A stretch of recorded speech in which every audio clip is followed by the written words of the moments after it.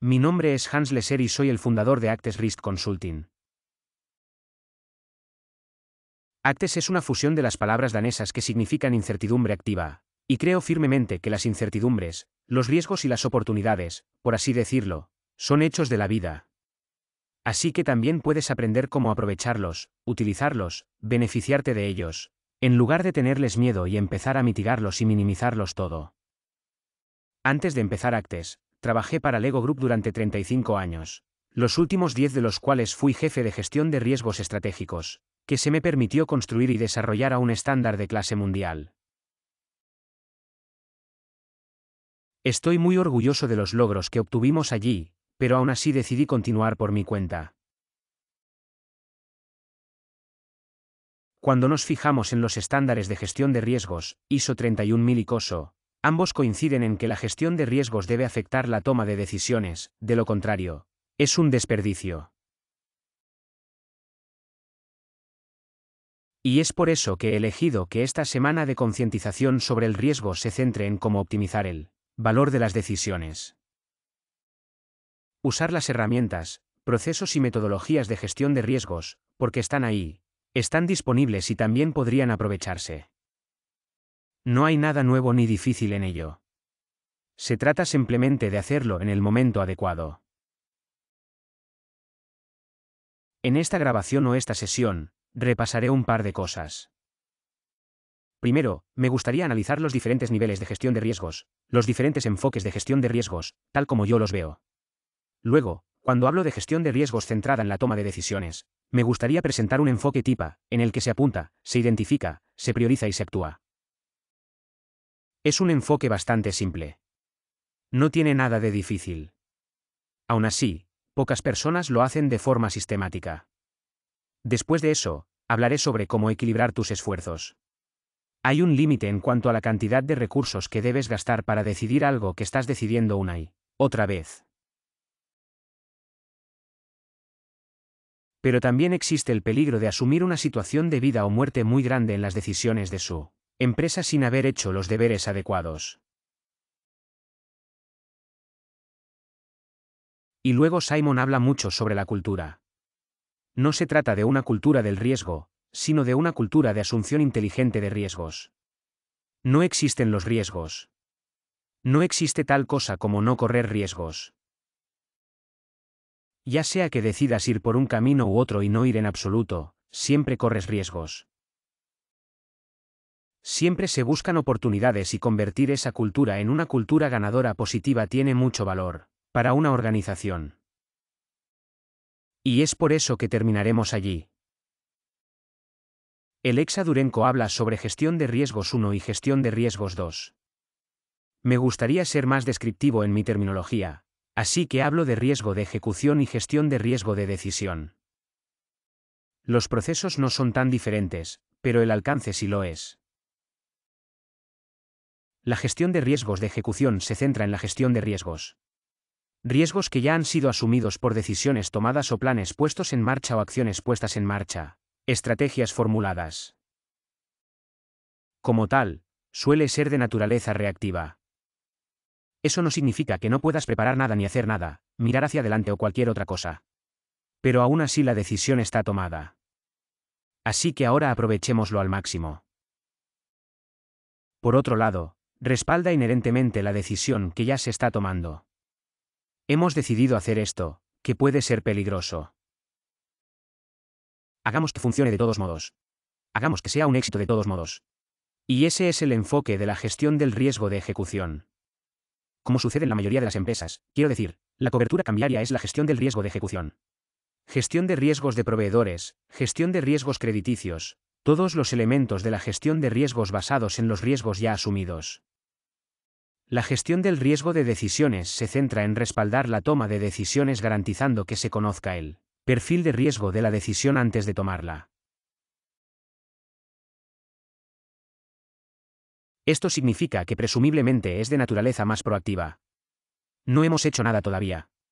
Entonces, todavía estamos analizando cuáles son los riesgos y las oportunidades, cuál es el rango de resultados y qué tan satisfechos estamos con eso antes de tomar la decisión.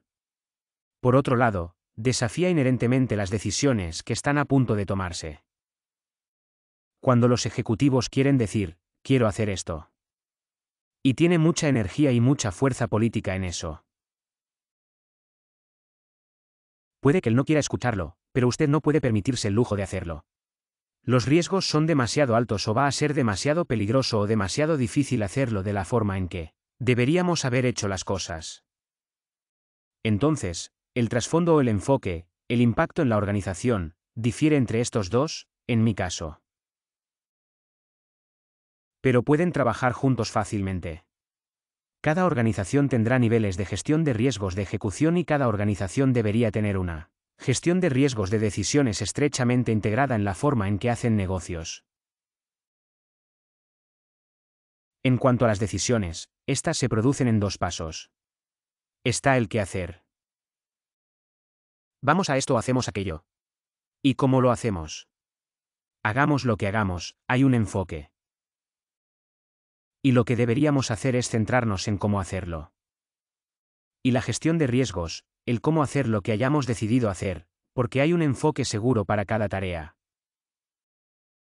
Puede resultar engorroso. Puede resultar caro. Puede que lleve mucho tiempo.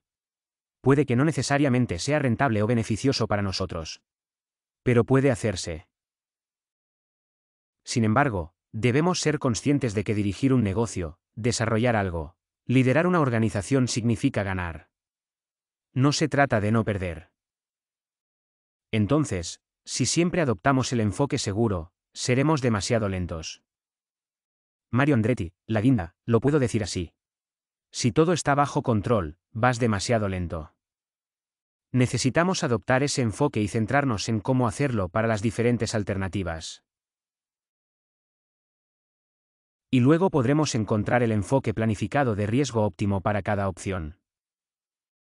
Mire el rango de resultados. Mire los resultados y vea, ok, qué riesgo, qué decisión vamos a tomar, A, B o C. Porque esa será, al final del día, una elección entre unos pocos. Y cuando haces esta priorización, la basas en tu apetito por el riesgo. ¿Cuánto estás dispuesto a aceptar? ¿Cuánto riesgo puedes permitirte correr? ¿Qué estás dispuesto a hacer? ¿Qué se te permite hacer? En muchos casos, habrá pautas y reglas sobre cuánto se le permite hacer como gerente. Tendrá cierto nivel de influencia y cierto poder de decisión. Y otros tienen que ser relegados a niveles superiores o incluso a la junta directiva. Pero aún así, según tus prioridades, ¿cómo vas a hacerlo? De esta manera, optimiza el valor asumiendo tanto riesgo como sea posible con el mayor resultado rentable posible. Al realizar una gestión de riesgos de decisiones, sugiero un proceso TIPA. El proceso TIPA consiste en una sesión de focalización en la que usted precisa lo que quiere lograr. ¿Qué es para usted el éxito en esta decisión? Luego la identificación. ¿Qué puede afectar el objetivo de su reunión? ¿Qué puede hacer que no alcances tu objetivo? ¿Qué puede hacerte superar tu objetivo? Sobre cuál de estos elementos necesitas actuar. ¿Cómo actuarás al respecto? ¿Y entonces cómo serían? Para que tenga un plan viable con el que pueda seguir. Y luego ejecutas el plan. Profundizaré en esto en las próximas diapositivas. T. Apuntar consiste en poner el caballo delante del carro. He visto tantas decisiones. Tantos proyectos. Incluso las estrategias se basan en lo haré, deberíamos o debemos hacer esto o aquello cuando la declaración se haya hecho sin la debida consideración sobre cuál podría ser el resultado. ¿Cuáles son los riesgos? ¿Cuáles son las oportunidades? ¿Qué alternativas había? En muchos casos se trata de la necesidad de un ejecutivo de hacer algo. O montar un caballo de juguete. Realmente me gusta mucho que nos mudemos a nuevos países, así que mudémonos a nuevos países pase lo que pase. Esto es peligroso e ineficaz porque muy a menudo te encontrarás con que no sabes cuándo lo lograste. Entonces, la primera pregunta que podría hacerle al ejecutivo cuando desee hacer algo, ¿cuál es el éxito? ¿Con qué métrica sabrías que tienes éxito? ¿Es un nivel de ventas? ¿Es un nivel de satisfacción del personal? ¿Es ganancia? ¿Es lo que sea? ¿Cómo se mide el éxito y qué se necesita para pensar que esta fue una decisión bien tomada? Fue una decisión exitosa porque después de la implementación, pueden pasar meses antes de que finalice la implementación de esta decisión, también pueden pasar semanas o días, pero a menudo puedes hacerlo, si no tienes el objetivo. Es muy difícil decir que tienes éxito y si no puedes decir cuándo lo lograrás.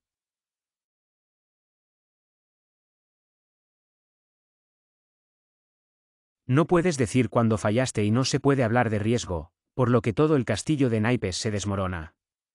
Si no tienes la orientación, necesitas la orientación y luego necesitas redactar una idea y no grabar todo en piedra. En este momento, ¿cómo lo va a hacer? ¿Cuál es el enfoque clave? El plan de alto nivel para cumplir con esto y luego cuáles son los riesgos y las oportunidades que pueden existir. Y lo importante relacionado con la focalización aquí es que los riesgos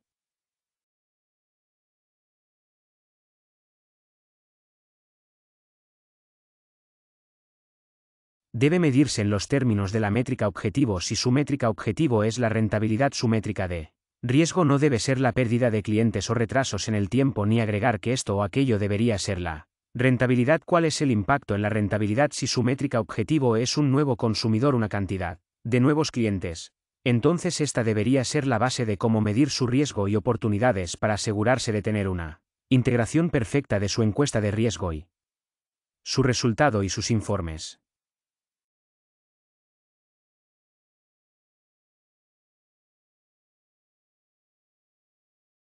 Contra el objetivo, debo recordar que a los ejecutivos no les importan mucho los riesgos, pero sí les importa no superar sus objetivos, así que si podemos mostrarles cómo cumplen o no sus objetivos de manera consistente con la forma en que los han definido, entonces estamos en buena forma.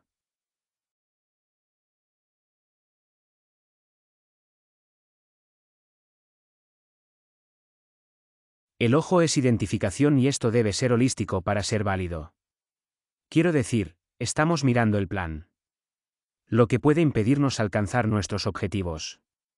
Lo que puede ayudarnos a alcanzar o incluso superar nuestros objetivos. Esto es genial.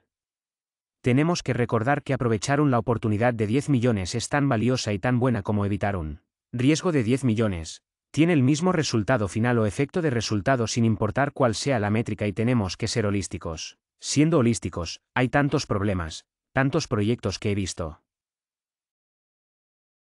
porque el equipo del proyecto y la dirección del proyecto se centraron en la iniciativa en sí y en lo que estaban haciendo y la decisión y no consideraron todo lo que los rodeaba y tienes este gran proyecto donde la operación fue un éxito, el paciente murió, no deberíamos haberlo hecho. Esos, por lo que debemos tener un alcance más amplio y profundizaré un poco más en eso en las próximas diapositivas.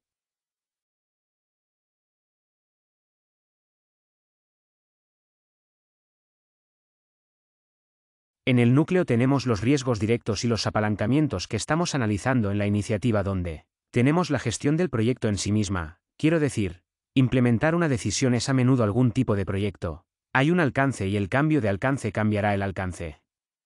En algún marco de tiempo que se le ha establecido, tiene algunos recursos, dinero, tiempo, personas. Cualesquiera que sean los riesgos que tenemos aquí, ¿Cuáles son las oportunidades que podemos aprovechar y en este puede haber muchos más riesgos que los que existen? Ser oportunidades, otra parte del proyecto que a menudo algunos olvidan es la gestión del cambio. Cuando implementamos una decisión, algo está cambiando, podría ser el proveedor o el cliente, podría ser un área comercial completa, podrían ser procesos hasta el final. ¿Cómo registramos aquí nuevas facturas, esta gestión de cambios debe integrarse en el plan del proyecto y cada gerente de proyecto le dirá que sí, por supuesto, y aún así se olvida mañana, mediodía y noche quién tendrá que hacerlo.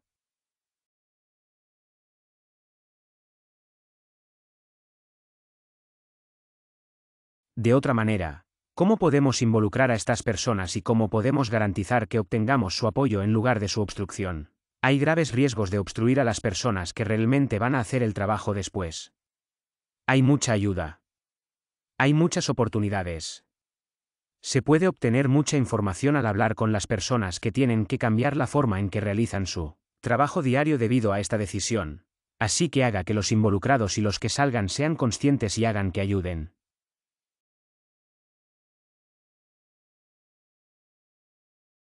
Defina qué puede ayudar y qué puede obstaculizar el encuentro de sus vectores.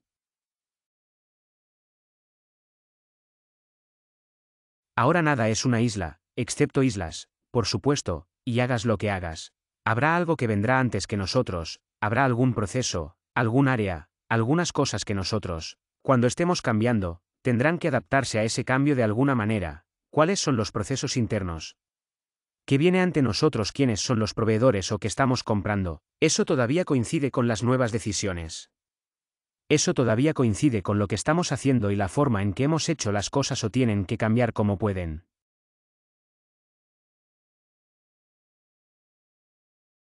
ayudar a obstaculizar la ayuda o dificultar nuestro cumplimiento de objetivos y eso podría ser de gran ayuda. Si se involucrara las aguas arriba, no necesariamente a todos los tres niveles hacia abajo, sino a mirar lo que viene antes de cualquier cosa que estemos cambiando y asegurarnos de que eso esté incluido en el riesgo. Perfil que estamos desarrollando porque para ciertos riesgos y oportunidades surgen del upstream lo mismo se puede decir del downstream lo que viene después que clientes o usuarios tenemos de esta decisión este cambio.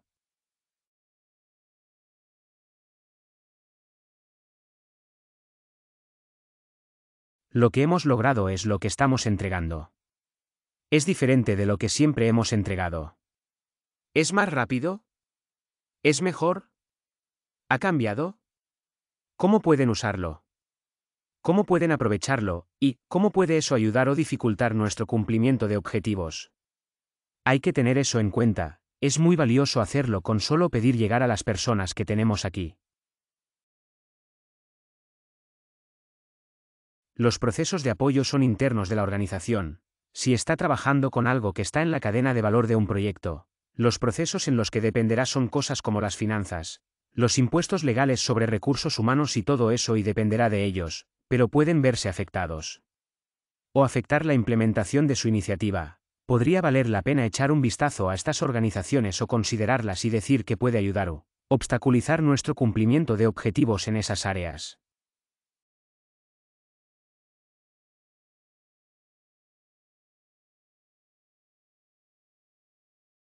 ser sistemáticamente holístico y es muy valioso hacerlo.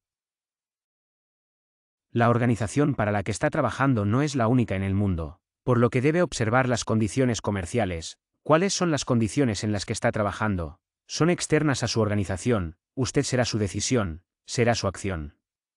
Sujeto a las condiciones comerciales que vienen del exterior y se puede observar un análisis profundo en el que se analiza el cambio social, tecnológico, ambiental, económico y político, se puede tener un panorama competitivo cambiante.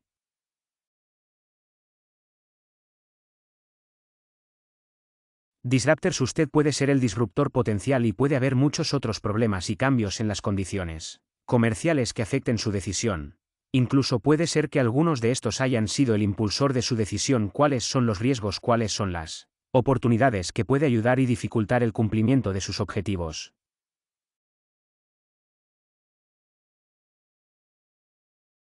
Priorizar es un ejercicio de modelado, se trata de aprovechar el modelado de simulación Monte Carlo y la simulación Monte Carlo es imprescindible, no se trata de tener un registro de riesgos, no se trata de ámbar rojo y verde son inútiles, no te dirán, no te mostrarán nada, no te mostrarán apoye su decisión y los mapas de calor.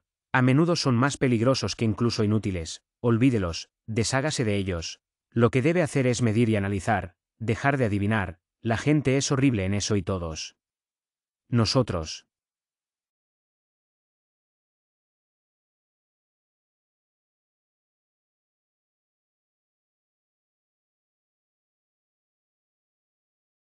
Quiero decir que se han llevado dos premios Nobel por documentar que la gente es mala adivinando estimaciones, cualitativas como alta o baja o muy significativa o insignificante.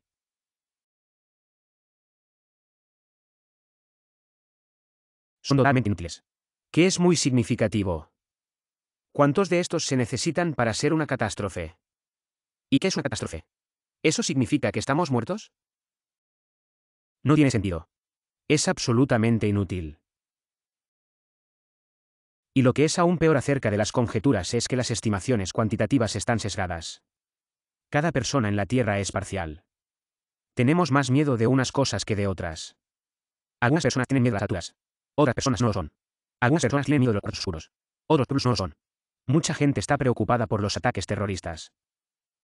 Sin embargo, es muy poco probable que alguno de ellos se vea alguna vez afectado por un ataque terrorista.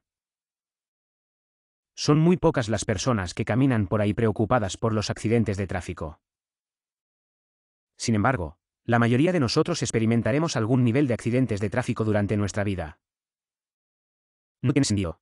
Necesitamos los hechos y los hechos siempre están ahí. Douglas en su. Cómo medir cualquier cosa ha demostrado que siempre se puede encontrar una métrica, una métrica relevante, y siempre se puede encontrar una manera de medirla. Y una vez que tienes eso, modelas cada riesgo y oportunidad. En su modelo de decisión. ¿Cuál es la distribución del impacto? ¿Cuál es la baja probabilidad y el pequeño impacto? ¿Cuál es el impacto esperado? ¿Cuál es el alto impacto? Muy a menudo se utiliza esta estimación de tres puntos sobre el impacto de un riesgo o una oportunidad. Y puedes modelar eso con una distribución matemática de cualquier tipo. Pero también debemos ser conscientes de que es posible que muchos de los riesgos y oportunidades que tenemos en un proyecto y que están arraigados en una decisión nunca se materialicen, lo que significa que el impacto es cero. Así que tenemos que abordar cuál es la probabilidad de que esto suceda y lograrlo. Y una vez que tenemos eso, lo agregamos a nuestro modelo de decisión. No realizamos un registro de riesgos separado que se guarda en el escritorio del administrador de riesgos. Lo integramos en el modelo de decisión, trabajamos con las personas propietarias del modelo de decisión y lo calculamos. Tenemos todo el riesgo expresado en los valores de la métrica de resultado, la métrica de éxito, ¿no? Así que lo ponemos ahí y lo arraigamos. De esa manera podemos modelar nuestro ejercicio aprovechando la simulación de Monte Carlo. En esta priorización, la simulación Monte Carlo le brinda dos resultados valiosos con los que trabajar. Una es una curva como esta, en la que desde una probabilidad 0 hasta un 100% de probabilidad en el eje y tiene el rango de resultados. Como puede ver, el rango de resultados comienza con menos de menos 100, lo que significa en este caso de ejemplo.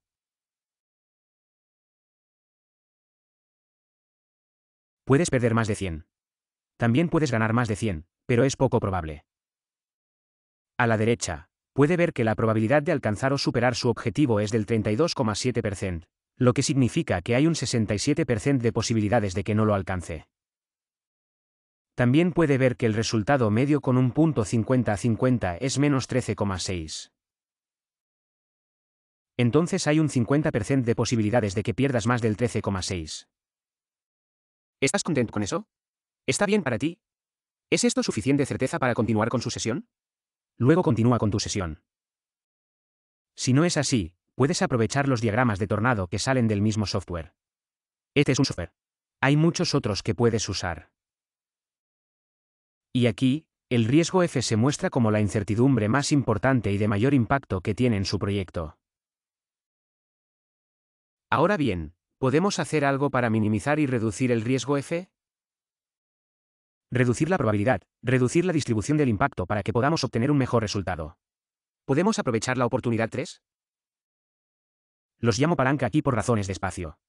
¿Pero podemos aprovechar este? Es una idea positiva. ¿Podemos asegurarnos de que esto suceda? ¿Podemos asegurarnos de que podemos beneficiarnos de ello? ¿Podemos mitigar los riesgos A G? ¿Podemos aprovechar las palancas 4 y 5? Entonces podremos obtener un mejor resultado. Este es un proceso de planificación iterativo. Empiece por simular su modelo de decisión, sea lo que sea que se le haya ocurrido. Y luego miras, ¿estás contento con eso? ¿Está bien? ¿Terminamos? ¿Estamos listos para ir? Si así, adelante. Quiero decir, no te excedas. No tiene ningún valor, no tiene mucho valor, exagerar. A veces puedes obtener algo de valor, pero normalmente no lo habría. Supongo que la primera vez que hagas esto, si lo haces, no estarás satisfecho con el resultado. Y luego miras el diagrama de tornado y dices, ¿cuáles son las incertidumbres clave? Los abordas, los discutes y decides, ¿qué vas a hacer al respecto? y hagas lo que hagas con ellos, actualiza tu modelo. Actualiza su modelo de decisión introduciendo o agregando las actividades que ahora va a realizar para mitigar ese riesgo o aprovechar esa oportunidad para asegurarse de que obtengan un mejor resultado. Actualiza lo que está haciendo, los costos y todo, y actualiza el impacto y la probabilidad de los riesgos clave que ha cambiado. Y luego haces otra simulación y preguntas si estás contento, y luego puedes darte la vuelta. La belleza de esto es que este ciclo inferior es un ciclo de siembra. Es muy fácil y puedes hacerlo. Quiero decir, para muchos proyectos, llevará horas, ni siquiera días. Tomará horas hacerlo entre un equipo de personas relevantes y tener un plan y decir, está bien. Así es como ejecutaremos esta decisión de manera óptima. Si esta es la decisión que vamos a ejecutar. Al final del día, estarás feliz y seguirás adelante. Cuando tienes una decisión que cubre una variedad de oportunidades, dos o tres o lo que sea, puedes hacer este ejercicio para cada una de ellas. Y descubre cómo hacerlo y elige los mejores. Una vez que hayas tomado la mejor decisión, la mejor decisión plausible, hayas decidido qué hacer y cómo hacerlo, empezarás a navegar por la vida real. Tienes un plan optimizado, adelante, empieza. Supervise los desarrollos y los cambios que se producen a medida que avanza. Quiero decir, no es una caída directa. No es un esquí de velocidad en el que simplemente corres en una dirección. Tienes que navegar. Y como dijo Helmut von der Wulp, el mayor, un ex general alemán, ningún plan sobrevive al primer contacto con el enemigo. Entonces, una vez que llegues a la vida real, habrá cambios. Habrá acciones. Habrá riesgos que se harán más grandes y algunos se harán más pequeños y tendrás que adaptarte. Entonces, lo que debe hacer es actualizar su plan y su modelo y decidir el siguiente paso. Por lo tanto, integra este pensamiento de decisión de riesgo con la planificación y ejecución de su proyecto para obtener un resultado óptimo simplemente repitiendo el camino hacia un resultado exitoso cada vez.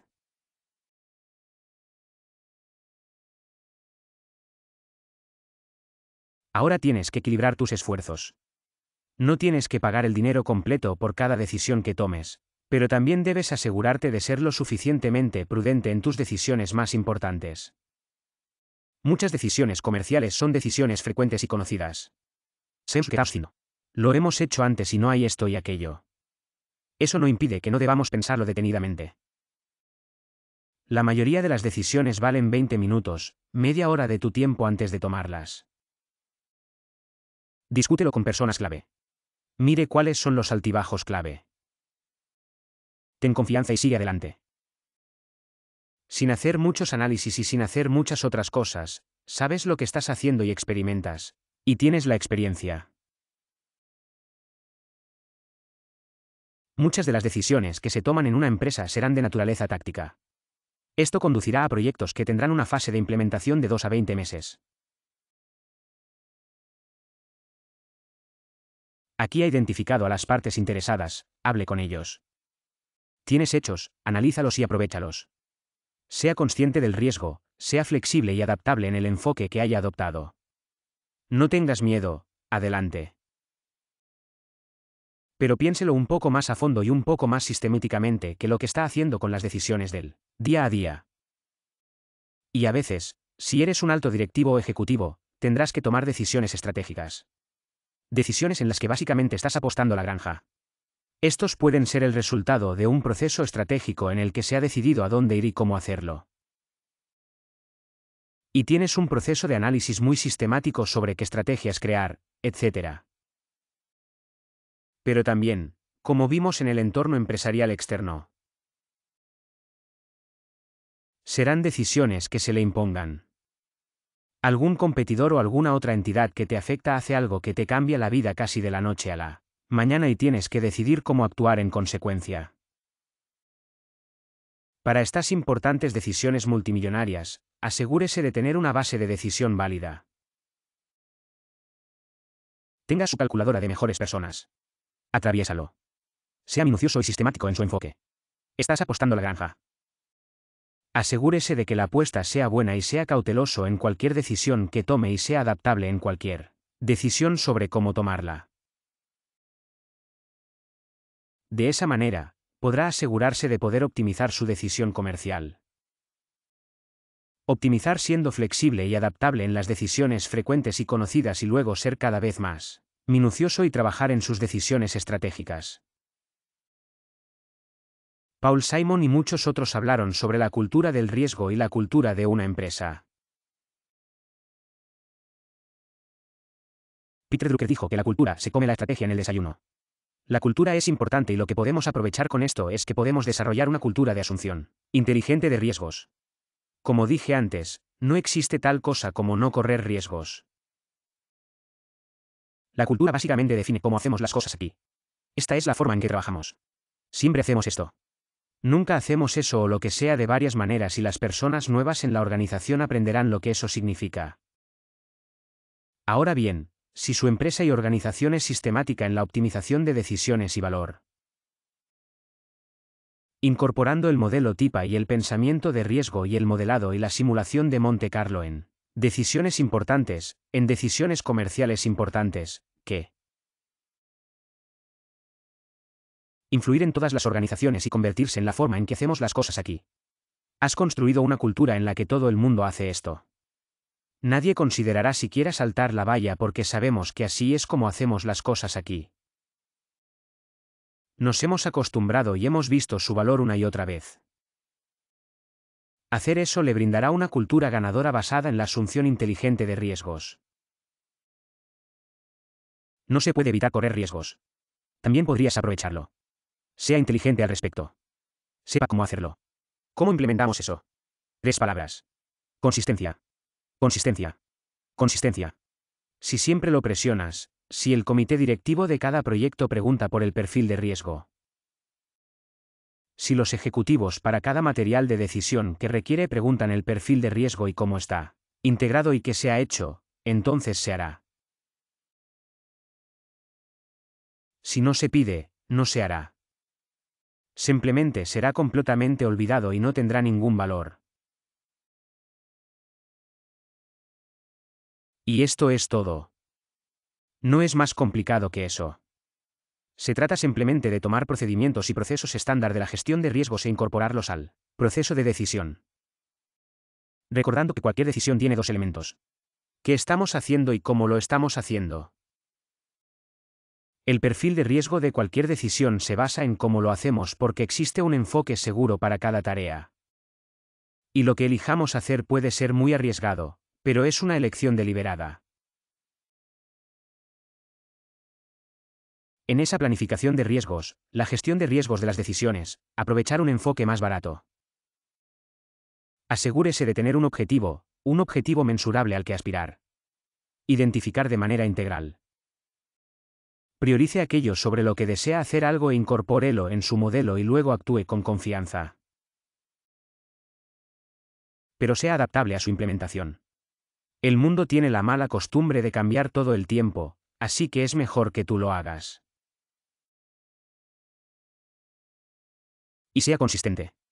La coherencia creará una cultura de asunción inteligente de riesgos que estará destinada a ser una enorme ventaja competitiva para la empresa o algo mucho peor para sus competidores si usted no lo hace y ellos sí. Entonces esto es lo que creo que optimiza el valor de la decisión. Aprovechar los procesos, herramientas y mecanismos estándar de gestión de riesgos en el proceso de decisión y no esperar hasta haber tomado la decisión para luego comenzar a rescatar lo que haya hecho. Podría suponer una gran ventaja competitiva para usted. Así que gracias y si crees que puedo ayudarte, no dudes en comunicarte con nosotros. Y si crees que puedo ayudarte, no dudes en comunicarme. Que tengas una buena sesión.